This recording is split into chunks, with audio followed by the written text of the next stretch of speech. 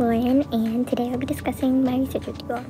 For my video project, I decided to interview some friends and family on their grocery shopping habits and how it affects their happiness. My main goal was to find out how access and avail availability to food affects black people's um, overall mental health and our happiness in general.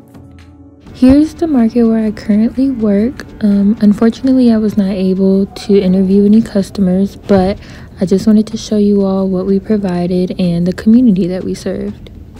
The following videos are the evidence that I have gathered during my research. Not often, not too often. Okay. So, I would say that I grocery shop like once every two weeks but I also buy little things throughout the week. So probably every week, probably on a weekly basis. Um, I would say not not too often. There's not much many times where I need produce. Okay. Uh, I tend to always buy produce. Um, I really like to cook. So even if I'm buying treats or if I'm doing my regular grocery shopping, I always buy produce. I probably buy produce close to every time that I go grocery shopping. That's good. Uh, 10. I, I grew up in a household where my mom and I grocery shop probably once a week. And even if it was like pre-made food, uh, it was always like a special treat to kind of like look at the things that we bought together. And so grocery shopping makes me very happy because it's so tied to like, yeah, having nourishment, but also having like treats, but also having like, this is the stuff that sustains my life. I feel pretty happy. I would say like 8 out of 10. Okay, great.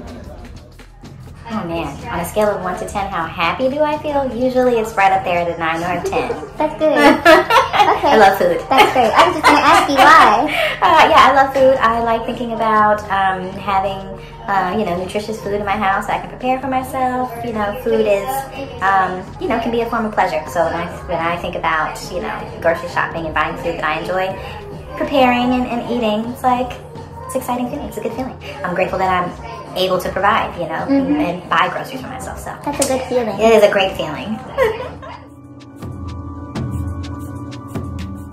my mood after eating my favorite meal. Yes. Satisfied, nourished. That's good. You know, like my mood is. Yeah, satisfied is probably the best way to describe it. I feel like I have fed myself. I have utilized my groceries and my, you know, kitchen and uh, you know, fuel for my body. So, and I, if it tastes good, that's even better. So I feel satisfied. Yeah. Um, I wouldn't say I feel different, but I would definitely say I prefer to purchase fresh produce. Okay. So I would consider this area mixed. Um, it mixed as far as like racial demographics, but not necessarily like mixed as far as like class demographics. So where I'm at in Lakewood Heights, the neighborhood of Atlanta, was historically a like poor working class white neighborhood. And where this neighborhood is now is more so like becoming more of a like black, predominantly black, like middle class neighborhood. And so I definitely consider it mixed.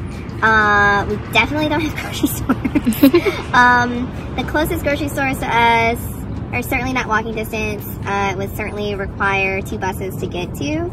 Uh, I feel very privileged that I have a car that can get me to my grocery stores. But yeah, there's like limited fresh food options here.